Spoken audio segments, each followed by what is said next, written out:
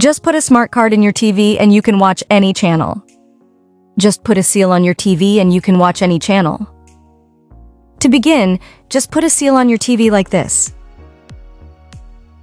Now we cover the entire inside of the polystyrene plate with aluminum foil. Aluminum is an excellent signal conductor that will help us reduce interference and ensure a better reception.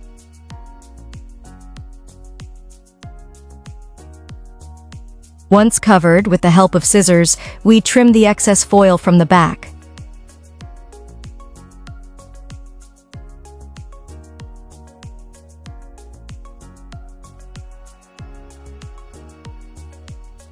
When everything is cut, with a soldering iron, we will make a small hole in the center of the polystyrene plate, just as you are seeing now.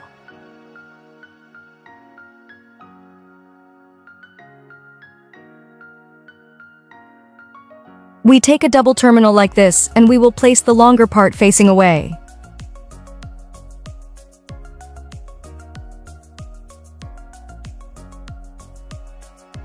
Then we solder it very well onto our plate. The next thing we will use is a coaxial cable for the television.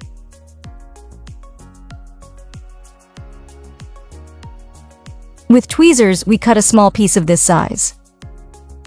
Then, with a knife, we mark a division in the middle of the previously cut cable.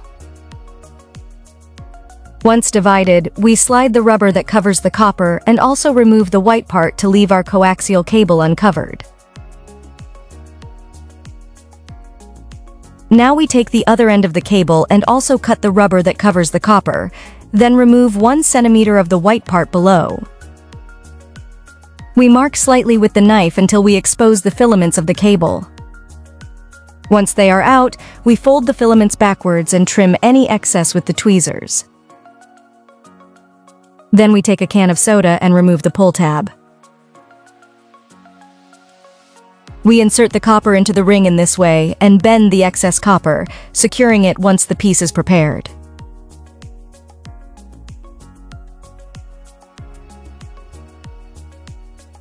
We screw a large piece of coaxial cable into the terminal thread that we previously placed inside the seal.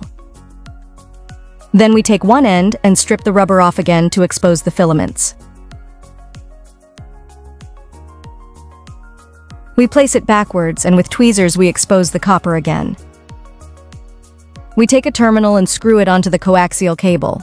We repeat this procedure with the other end of the cable, when we have these two pieces, we only have to screw one of the ends onto the other side of the antenna. Now we connect the other side to our television, and the only thing left to do is to test the channel reception clarity. In this way, so easy and economical, you will be able to watch any channel perfectly without having to spend on expensive digital antennas. If you followed these steps, leave TV emojis to show you've seen the entire video. If this is the first time you see one of my videos, subscribe to be the first to receive our advice.